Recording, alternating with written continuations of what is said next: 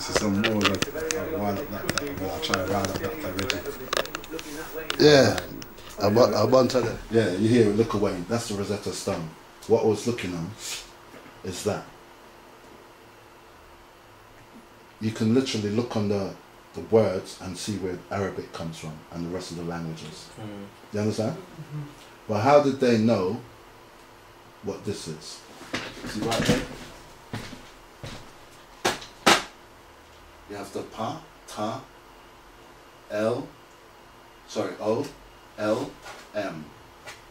Ptolemy. So we understand his name is right here. Then we see the Ankh. I don't know what this is up here, but I think this is Ankjet, Ptah, or Murray, the beloved son of Ptah. That's what's written in this cartouche. You understand? But really and truly, if most of you are on it, I mean, I can do it myself. I can translate this, but it's kind of hard because some of the glyphs, I wouldn't really know how to translate that because I don't know what glyph. Correct? Okay. In the beginning, created God. That's how it's read. Who created God? In the beginning. What was they've got it called in the beginning? The source, whoever it is. Okay, so now if you read my Bible, it says, In the beginning, in the beginning, created God created. God. This next word here, 401, doesn't even have a meaning. You don't understand the mysteries of how the Bible was written. Because the Jews know how it was written. This word et doesn't even have a meaning. So we go back here. Bara Shet, Bara Elohim. What does it mean? What does Beth mean? What does it mean?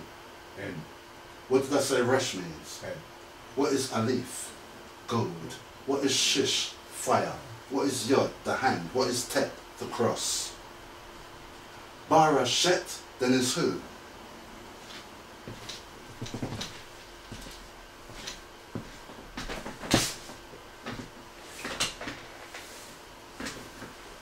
Remember I showed you Daniel map? And he was talking about this the last class. That DVD is down here, or I think I haven't copied them yet. Remember? And he was saying, Barashet Elohim, and he was going, let's read it how the Torah reads it. And he's going, in the beginning created God. And he said, who created God? Ein Sof. Who's Ein Sof? Let's go back to it. Oh, where have I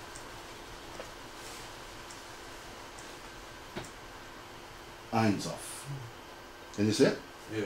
So who's Ein Sof on the tree of life? Kether, correct?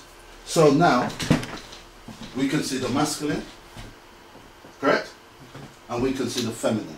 But I've already taught you, Kether is not on the tree of life. Hmm. And you can see the geometric pyramid shape before the first three triangles. This is the upper world. Hmm. Correct? Hmm. Correct? Alright, we're going back years now. Alright?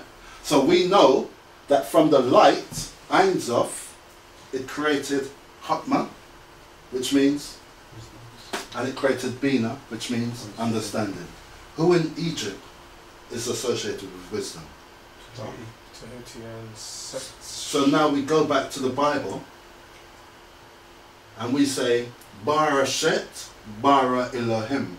Elohim, Ella, goddess, female noun, terminated by the plural masculine. Yod Mim. When the Mim is sealed, secret in the word. Elohim means gods and goddesses. How do you then have a monotheistic deity? Um, yeah, the elements, yeah. yeah. Remember, ask the Christians, Yeah, what's the initials above his head? Yeah, Earth, fire, Oh, yeah. water, all the four elements. He was the fifth element. Kether. You take the K off, you get ether. This is what they're trying to show you in a type of typology. This is what they do. So you read the Bible, you won't get the story. Why? Because it's not written like that. I think it was the City of God text. was Yeah. And there he was talking about um, not understanding or knowing about, you know, day Okay. This. and stuff this like that. Um, I, I, I recently was reading the um, the book of Enoch, Okay.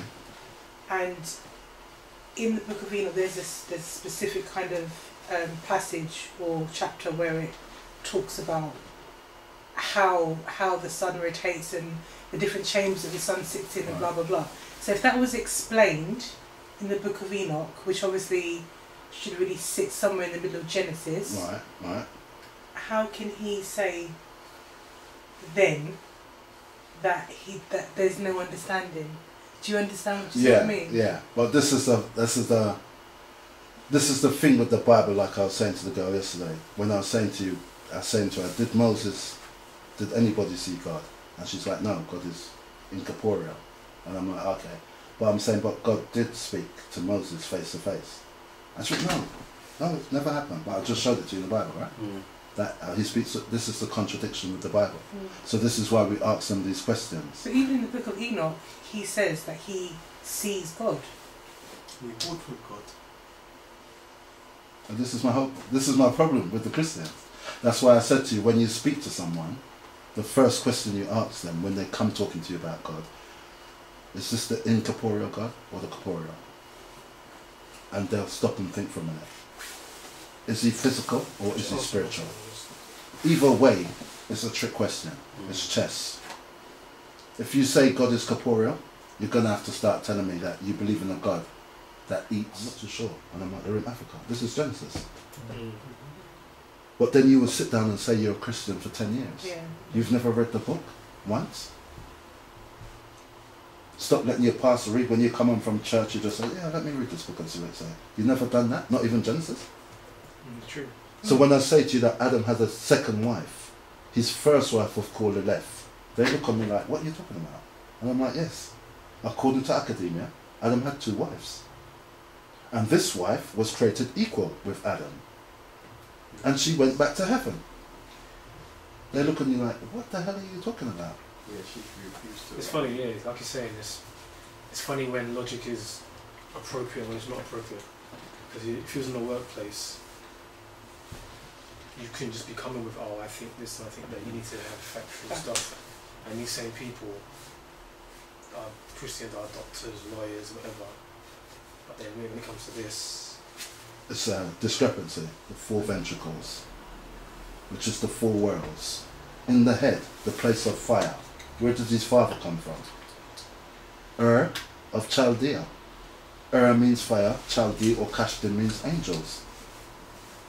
Fire angels, the place of fire.